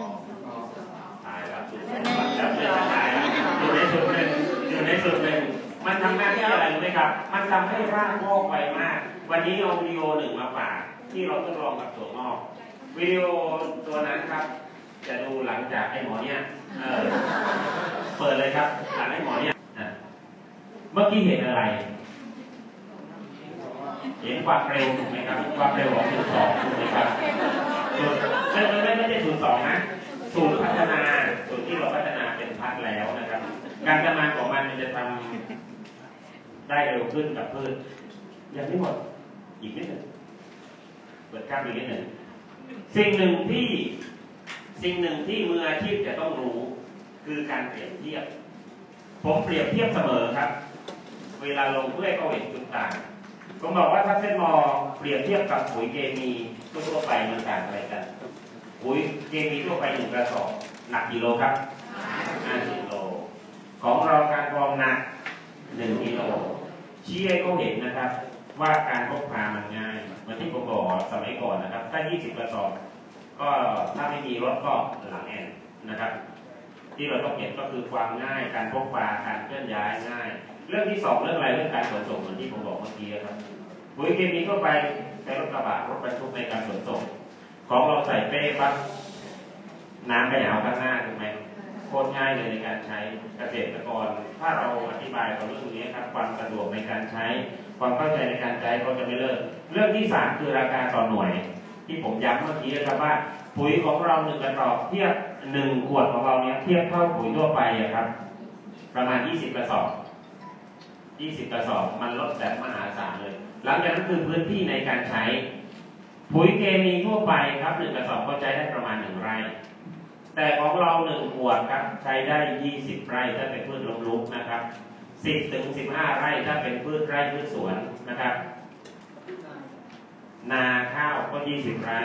แต่ถ้าพืชไร่พืชสวนนะครับพืชไร่พืชสวนประมาณ 10ถึง15 ไร่นะครับ10ถึง15 ไร่เป็นอย่างน้อยเลยนะครับ ส่วนไม้ผล8ถึง10 ไร่นั่นคือเปรียบเทียบของการใช้ที่ร้อยเห็นแล้วระยะเวลาในการใช้ปุ๋ยเคมีทั่วไปหลังจากเราหว่านเสร็จ มันจะมีกระบวนการที่พืชสามารถเอาอาหารไปกินได้จะใช้เวลาถึง7วันนะครับ แต่ของเรากี่นาทีนะเมื่อกี้20นาทีใช่พืชนำไปใช้ได้เลยนี่คือความต่างที่เราต้องชี้ให้เขาเห็นว่าทำไมของเรามันมีจุดจุดเด่นขนาดนี้จุดแข็งขนาดนี้ยทำไมคุณถึงไม่สนใจ เราต้องมีข้อโต้แย้งคือเกษตรกรทุกคนจะมีข้อโต้แย้งในใจเสมอครับเพราะฉะนั้นเราหาเอาไว้เจอ วันนี้เดินไปนำเสนอปุ๋ยกับนำเสนอธุรกิจคล้ายกันไหมเราต้องหาให้เจอว่าเราจะเอาอะไรไปขายเขา ราะฉะนั้นจุดแข็งทั้งหมดตรงนี้มีประมาณ 11 ข้อคุณต้องหาให้เจอว่าเอาข้อไหนไปคุยที่โดน ไปคุยให้โดนเขา ข้อที่หกระยะเวลาในการใช้ปุ๋ยกระสอบ ปีหนึ่งปุ๋ยกระสอบใช้ได้แค่สี่เดือนเองนะครับ ต้นฝนถึงปลายฝน เพราะฉะนั้นวันนี้ถ้าเราจะทำธุรกิจเกี่ยวกับปุ๋ยการฟอง สิ่งที่เราได้เปรียบก็คือของเราทำได้ทั้งปีถูกไหมฮะทั้งปี แต่ปุ๋ยเม็ดใช้ได้แค่สี่เดือนเพราะเมื่อฝนไม่มีน้ำไม่มีพืชกินไม่ได้นะครับพืชกินไม่ได้ เรื่องนี้ต้องชี้ความต่างให้เขาเห็น ข้อที่เจ็ดวัตถุดิบที่ใช้ในการผลิตไอเดียสำคัญเกษตรกรทุกวันนี้ตายปลอดสมทั้งนั้นครับ เนื่องจากเขาเจอสารเคมีที่มาที่มา แล้ววัตถุดิบพวกนี้ครับ จริง ๆ มันก็คือทำลายดินที่ผมบอกจำได้ไหมแล้วเรื่องอะไรจะเอาสารเคมีไปเททิ้งในที่ดินของเราครับ เรื่องนี้เราต้องชี้ให้เขาเห็น แล้วต้องเททิ้งอีกสักเท่าไหร่ แล้วถ้าเป็นไปได้ผมบอกว่าถ้าลงไปในนาด้วยนะลงในแปลงด้วยนะลองขุดดินเลยครับ มีไส้เดือนอยู่บ้างไหมถ้าไม่มีแสดงว่าดินตายแล้ว ดินตายแล้วฟื้นฟูมันก่อนดีกว่าไหมถ้าเป็นของพี่พี่ฟื้นฟูไหมครับพี่ฟื้นนะเป็นของพี่ฟื้นไหมครับ ยินดีทำไหมครับทำนะทำไหมพี่ วันนี้กี่ลังดี พูดอย่างนี้ทุกครั้งต้องจบด้วยการขายมืออาชีพอย่าปล่อยผ่านพอนวดจนน่วมแล้วก็น็อกเลย อย่าปล่อยผ่านนวดก่อนพอนวดแล้วก็น็อกนี่คือมืออาชีพเขาทำอย่าเสนอเสร็จแล้วกลับบ้านขอคิดดูก่อนอย่านะถ้าบอกก็ขอคิดดูก่อนต้องหาเจอว่าไอ้ที่มันคิดดูก่อนมันไม่มีตังหรือมันไม่เข้าใจเอาจริงมืออาชีพต้องทำมาสองเรื่องไอ้ที่ว่าขอคิดดูก่อนไม่มีตังหรือไม่เข้าใจ ถ้าไม่เข้าใจอธิบายเพิ่ม คือมึงก็กูต้องไปกันคนหนึ่งอะต้องเข้าใจอะไม่เข้าใจกูอยู่เนี่ย แต่ถ้าไม่มีตังโอเคอนุโลมพร้อมเมื่อไหร่ค่อยว่ากัน แต่อีกสามวันกูไปหาแล้วเนี่ยนึกว่าไหมการเป็นนักขายสิ่งที่คุณจะต้องมีควบคู่ก็คือการตื้อก็บอกว่าห้ามตื้อผมบอกไม่จริงนะถ้าคุณไม่ตื้อคุณไม่มีการได้หรอกในการขายอะเพราะถ้าคุณไม่ตื้อเขาจะซื้อได้ไง คนไทยเป็นคนที่ขี้เกรงใจจำได้ไหมครับ แล้วหลายคนที่นั่งอยู่ที่นี้ก็ติดโรคเกรงใจ แต่ผมก็ไม่เข้าใจเหมือนกันว่าทำไมถึงอยากขาย คนถ้าอยากขายคุณต้องไม่เกรงใจเคยได้ยินคำนี้ไหมตื้อเท่านั้นที่กล่องโลกตื้อเท่านั้นที่กล่องโลกตรงนี้ใครมาเป็นผู้สามีภรรยาบ้างหนึ่งสองสามคนไหนสามีครับ ก็ตื้ออยู่ดีเลยก็มีถูกไหมครับ คือมันต้องมีการตื้อทุกอาชีพอะ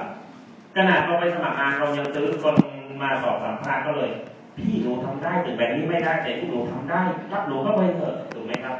แต่พอมาเป็นซักเซ็ตมอไม่ตื้อซะงั้นเนี่ยผมบอกว่าตื้อทำไปเถอะตื้อเท่านั้นที่กรองโลกนะครับ แล้วการตื้อเนี่ยมันทำให้เราเกิดผลลัพธ์จริงๆนะแล้วก็ที่แปดคือการเก็บรักษา วันนี้ครับปุ๋ยถ้ามาทั้งสองตัน ลงในบ้านใครก็แล้วแต่คุณเชื่อผมไหมบ้านนั้นไม่มีที่นอนครับทิ้งแต่สำหรับของเรามุมใดของห้องก็ได้ใช่ไหมครับ แล้วไม่มีกลิ่นส่งรบกวนด้วย ไม่มีกลิ่นรบกวนด้วย แล้วของเราเก็บได้นานถึงสองปีจำไว้นะครับ ตรงนี้จำไว้นะ ถ้าเราไม่เปิดขวดเราเก็บไว้นานได้สองปีสองปีสองปีเปิดขวดแล้วครับสองปี แต่ถ้าเปิดขวดแล้ว คือไม่เปิดสองปี แต่ถ้าเปิดแล้วเนี่ยอยู่ได้ประมาณสิบสองเดือนหนึ่งปีนะครับ เพราะฉะนั้นเวลาเกษตรกรคนไหนซื้อไปเยอะๆรีบไปเขาใช้หมดหมดเดี๋ยวคนอายุนะพี่แล้วจะว่าโอ้โหไม่ดีเพิ่มยอดขายได้อีกถูกไหมถูกไหมอะข้อที่เก้าลักษณะการใช้ปุ๋ยเคมีทั่วไปใช้หวาน คุณรู้ไหมครับวันนี้โลกเกษตรกรเริ่มมีปัญหาเหมือนโลกอุตสาหกรรมขึ้นมาแล้วพม่าลาเวียดนามหนีกว่าประเทศเกือบเกลี้ยงด้วยกฎหมายใหม่ที่เราใช้ เพราะฉะนั้นวันนี้เจ้าของสวนต้องลงไปทำเองไหมครับทำเองสิ่งที่เราเชื่อก็คือถ้าใช้ของเรามันแค่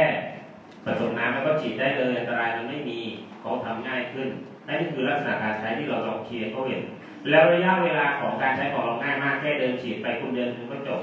แต่ถ้าปุ๋ยใครเคยหว่านปุ๋ยไหม เดินไปถึงกลางนาครับถ้ามันหมดก่อนเราต้องเดินไปให้สุด ก็จะปุ๋ยวางไว้หัวกับท้ายนึกภาพออกไหมจะไปซ้ายหรือไปขวาดีสุดท้ายต้องเดินกลับมาที่เดิมถูกไหมครับ แต่ถ้าของเรานี่เราคำนวณเลยครับ เราผสมหนึ่งถังเราเดินฉีดเลยหนึ่งหนึ่งหนึ่งหนึ่งไร่แปลงๆนะครับ ประมาณ20ลิตรพอหมดตรงนู้นหมดแล้วก็เสริมใหม่ก็ตักน้ำจากในนาอะไรครับมาผสมเหมือนเดิมง่ายนี่คือลักษณะการใช้ต้นเชื้อก็เห็น แล้วต้นทุนแรงงานก็เหมือนเมื่อกี้ที่บอกครับต้นทุนของเราที่ถูกมากสมมติถ้าเราไม่ฉีดเลย เราไม่ฉีดเลย ราคาที่เขาเขียนกันทั่วไปนะครับลิตรหนึ่งมันก็แค่200บาท200บาทเองนะพวกฉีดยาเคมีลิตรหนึ่ง200บาทถ้าอย่างเปรี้ยวๆบางพื้นที่ลิตรหนึ่งก็250บบาท แต่ผมบอกว่ามันดีกว่าไหมดีกว่าการแบกปุ๋ยลงไปไหมถูกไหมครับเวลาปุ๋ยกระสอบหนึ่งกระสอบหนึ่งห้าสิบบาทนะครับ ที่เราต้องจ้างเขาใส่นะกระสอบหนึ่งห้าสิบบาท ทีนี้ถ้าปุ๋ยนาข้าวนานั้นแหละใช้ยี่สิบกระสอบ เอายี่สิบกระสอบไปคูณห้าสิบก็ไปก็คือหนึ่งพันหนึ่งพันแต่ของเราลิตรหนึ่งเท่าไหร่นะเมื่อกี้สองร้อยห้าสิบการจ้างก็ถูกกว่ากันเยอะเห็นไหมครับ คุณประหยัดได้ทันทีเลยเจ็ดร้อยห้าสิบบาทเพราะของเรากับของหนึ่งมันแค่นิดเดียวเองแต่มันมากตรงคุณต้องผสมน้ำมากตอนนั้นเองเป็นนั่นเอง นะครับ นี่คือข้อที่สิบข้อที่เด็ดต้นทุนค่าใช้จ่าย ต้นทุนค่าใช้จ่ายก็อธิบายไปแล้วนะครับ อธิบายไปแล้วนี่คือต้นทุนค่าใช้จ่ายพวกนี้ครับต้องต้องให้เขาเห็นต้องให้เขาเห็นเลยนะครับ ทีนี้สิ่งหนึ่งที่จะทำต่อจากนี้ก่อนที่เราจะทดลองตัวนี้ให้ดูไอ้ตัวนี้ก็ควรจะมีนะมืออาชีพเวลาลงพื้นที่คุณต้องควรมีเลย เพราะอะไร เหมือนที่ผมบอก คนเราจะเชื่อภาพมากกว่าเชื่อเสียงถูกไหมครับ นะเชื่อภาพมากกว่าเชื่อเสียง อ่า ใครจะอาสาเป็นหน่วยกล้าตายให้ผมบ้างแล้วสิ่งที่พืชของเราทำอีกหนึ่งข้อที่ผมยังไม่พูดเมื่อกี้ก็คือ พืชของเราสามารถสร้างโครโมโซมเซลล์ป้องกันเชื้อราได้ตัวของเขาเอง ด้วยตัวของเขาเองนะครับ เพราะฉะนั้นสิ่งนี้ที่ทั่วไปทำไม่ได้ แล้วของเราทำได้ ตรงนี้เป็นใช่ไหม เข้าใจกันแล้วใช่ไหม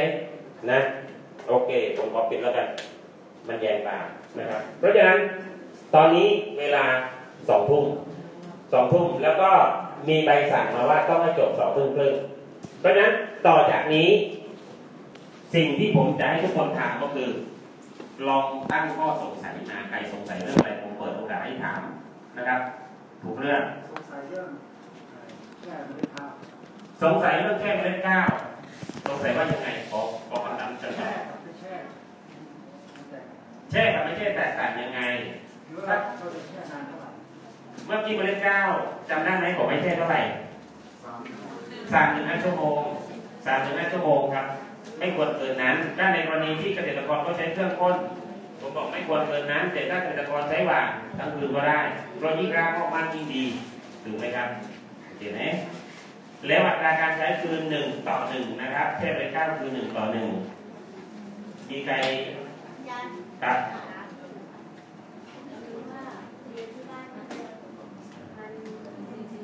ใบใบสีแดงใบสีแดงร่วงหมดเลยถ้าถ้าเราใช้แล้วเราใช้เนี่ยมันหายไหมอ่า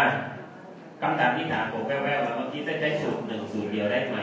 อันดับแรกเราไปดูเรื่องหนึ่งครับสำหรับทุเรียนที่ใบร่วงหรือใบมันเหลืองใช่ไหมครับแอบกรอบมันเลย เราไปดูมันมีปัจจัยอย่างอื่นร่วมกันไหมเช่นทุเรียนตรงนั้นขาดน้ำหรือเปล่าขาดน้ำไหมครับ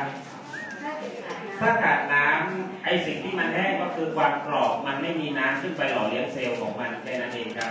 สิ่งที่หนึ่งที่พี่ต้องทำอย่างมากก็คือหนึ่งที่ต้องให้น้ำหยดต่อให้มันต้นใหญ่ขนาดไหนพี่ก็ต้องให้น้ำหยดแล้วหลังจากนั้นถามว่าใช้สูตรหนึ่งอย่างเดียวพอไหมผมบอกว่าพอ พอครับที่ใช้ 50 ซีซีต่อน้ำ 20 ลิตร ถ้าในกรณีที่ขึ้นไปฉีดไม่ถึงไอ้ที่ใช้สปริงเกิลฉีดขึ้นไปข้างบนแต่เครื่องฉีดขึ้นไปข้างบน ให้โดนใบมันให้หมดเลย แล้วหลังจากนั้น 7 วันที่จะเห็นว่าใบของมันจะตัดแล้วจะมียอดใหม่แตกออกมาหมดเลย นะครับ นั่นสำหรับทุเรียน ครับผม มงมันสำปะหลังเราไม่ใช่ใบเราแช่ท่อนแช่ต้นกับโอเคโอเค ผมงงโอเคผมแซวพี่เล่นผมก็แต่ มันสำปะหลังเนี่ย เราแช่เท่าไหร่นี่คือคำถามใช่ไหมครับ ผมบอกว่ามันสำปะหลังแช่ได้ประมาณสักห้าชั่วโมงคุณจะได้ผลลัพธ์ที่พีคที่สุด มันซึมเข้าสู่ท่อนทุกเซลล์หมดเลยนะครับ แล้วก็มีเรื่องหนึ่งวงเล็บสำหรับสำหรับมันสำปะหลังเวลาคุณยกร่องนะครับ ยกร่องให้มันหนาหน่อยแล้วกันให้มันกว้างออก เพราะถ้าคุณยิ่งยกร่องกว้างเท่าไหร่รากมันไปได้ไกลเท่านั้น แล้วในขณะที่เรายกร่องให้ใช้สูตรหนึ่งเสมอนะครับปรับหน้าดิน ถ้าเราฉีดได้ช้าก็ใส่ฝักบัวเดินรากเลยเดินรากเลยครับอ่าปริมาณเหมือนเดิมปริมาณเหมือนเดิม แปลงนาแปลงนาเยอะๆนี่เดินฉีดเลยครับ เดินฉีดเลยคุณปรับหัวมันออกมากกว่าเดิมแค่นั้นเองสำหรับแปลงนาเดินฉีดเลยก็รากไม่ไหวหรอกลำพังเพื่อก็ยกเท้าก็หนักจะแย่อยู่แล้วถูกไหมครับก็เดินฉีดเลย เดินฉีดเลยนะครับสำหรับแปลงาคือเดินฉีดเลยการปรับสภาพดินครับแค่แค่มาก่อนใช้ครับหนึ่งซีซีต่อน้ำหนึ่งลิตรคิดง่ายๆอย่างนี้ในการแช่แช่สูตรหนึ่งอย่างเดียวหนึ่งซีซีต่อน้ำหนึ่งลิตรไม่ว่าแช่เมล็ดแช่ท่อนพันธุ์หรือแช่อะไรทั้งสิ้นนะครับ ยกเว้นแช่ตัวคุณเดี๋ยวเลย แช่ข้าวก็หนึ่งต่อหนึ่งครับหนึ่งซีซีต่อน้ำหนึ่งลิตรของเราเป็นสูตรเข้มข้นนะครับ เป็นสูตรเข้มข้นอะมีไหมคำถามที่จะถามครับจากตอนที่เราจะฉีดนะครับอ่าตอนจะฉีดลำไยนะครับ ก็คือว่าอ่าเราจะผสมอัตราส่วนเท่าไหร่ที่รับยาจีบช่วงไหนครับอ่าตอนตอนเนี้ยครับที่ตอนนี้ที่เขากำลังฉีดสารอยู่นะครับ ก็คือ รับยาออกดอกได้ยังเลยกำลังครับกำลังจะออกอืมครับผม เรื่องหนึ่งที่ต้องเข้าใจนะ แล้วเป็นเรื่องที่บังคับด้วย ทุกคนต้องจำให้ได้ ในขณะที่ต้นไม้ไม้ผลออกดอกห้ามใช้สูตรหนึ่งฉีดเป็นอันขาด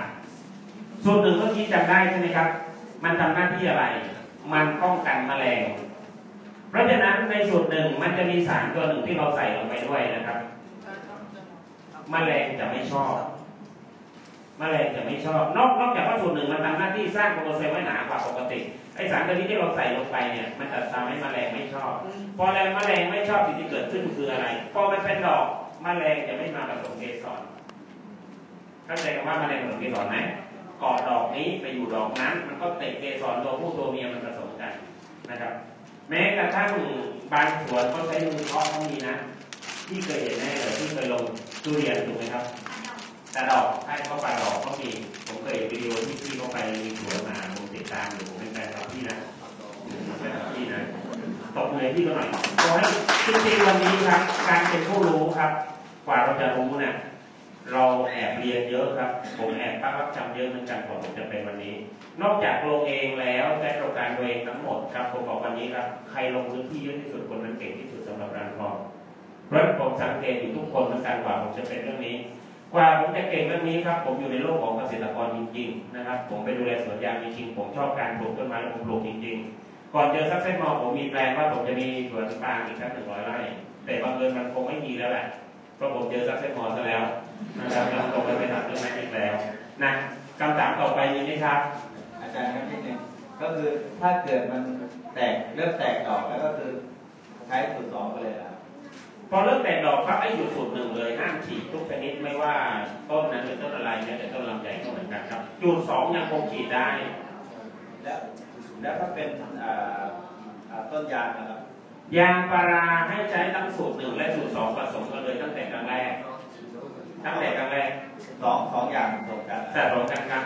จำเรื่องหนึ่งที่ให้จำมานะครับ ในสูตรเวลาอะทุกคนเตรียมจดเรื่องนี้สำคัญที่สุดผมไม่ได้มีในสไลด์นะครับ พืชสวน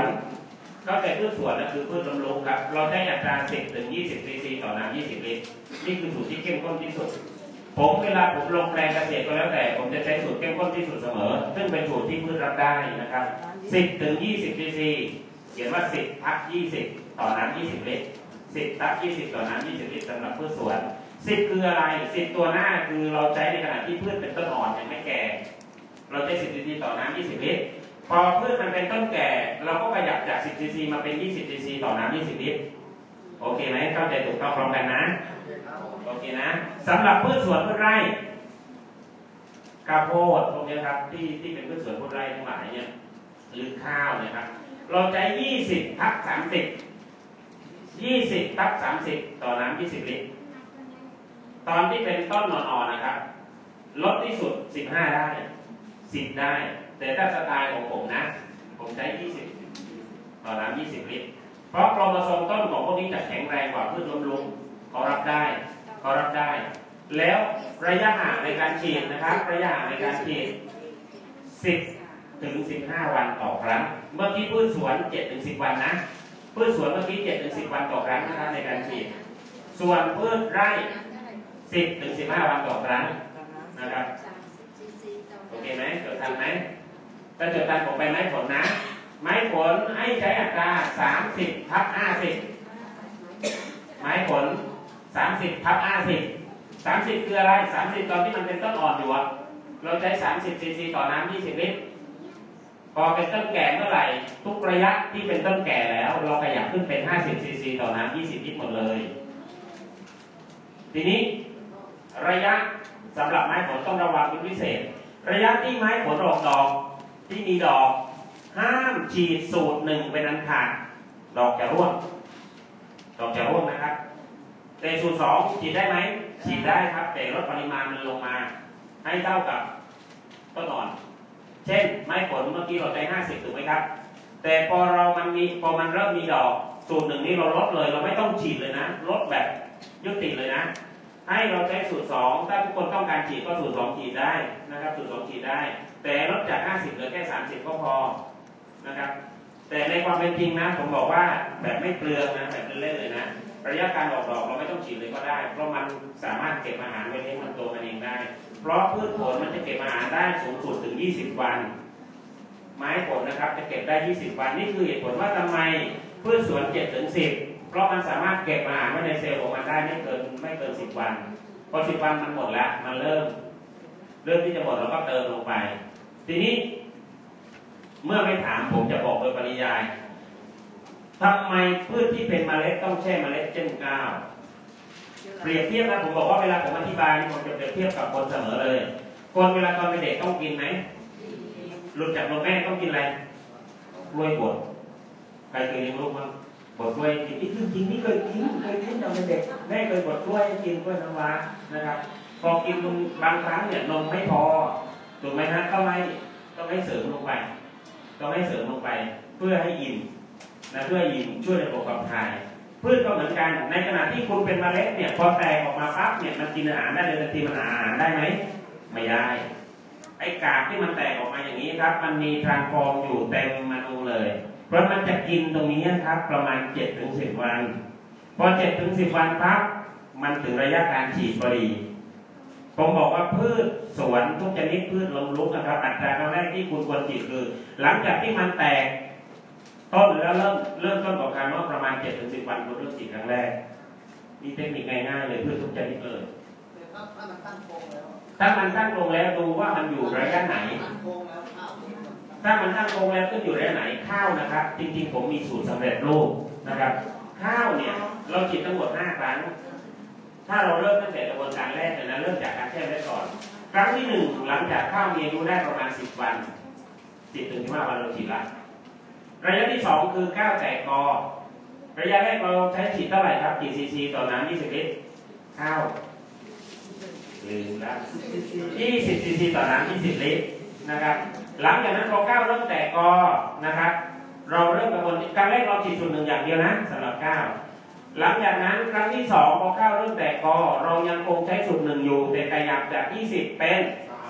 30 ใช่นั่นข้าวเริ่มแตกกอครั้งที่สามก่อนข้าวเป็นน้ำนมเขาเรียกอะไรนะน้ำนมเลยนะผมเรียกไม่ถูก น้ำนมไหมพี่จะอยากเป็นตั้งท้องแต่ก็เอ้ยไม่ตั้งก่อนที่มันจะท้องนั่นก่อนคอนเสิร์ตเลยก่อนที่มันจะตั้งท้องนะครับ ให้เราใช้สูตรหนึ่งผสมสูตรสองเลยอัตราเท่าไหร่ครับ สามสิบสามสิบรู้ไหมคนที่ไม่สำเร็จกับคนที่สำเร็จมันต่างกันตรงไหน แต่คนที่ต้องกล้าคิด วันนี้เราต้องกล้านะกล้าลอง เพราะฉะนั้นเวลาผมบอกอย่างเงี้ยสิ่งหนึ่งที่ผมถามสามารถจริงๆเข้าใจไหมผมคิดว่าทุกคนเข้าใจ แต่ทุกคนไม่มั่นใจเท่านั้นเอง เพราะฉะนั้นวันนี้พอรู้กับผมทั้งหมดสิ่งที่เกิดขึ้นก็คือ คุณจะไม่มั่นใจ จงมั่นใจครับสินค้าดีอยู่ในมือคุณผมบอกว่าก่อนเข้าตั้งท้องก็คือระยะที่สามครั้งที่สามเราใช้สามสิบบวกสามสิบฉีดเลย หลังจากนั้นพอข้าวมันเริ่มเป็นข้าวเม่านะครับ เริ่มเป็นข้าวเม่า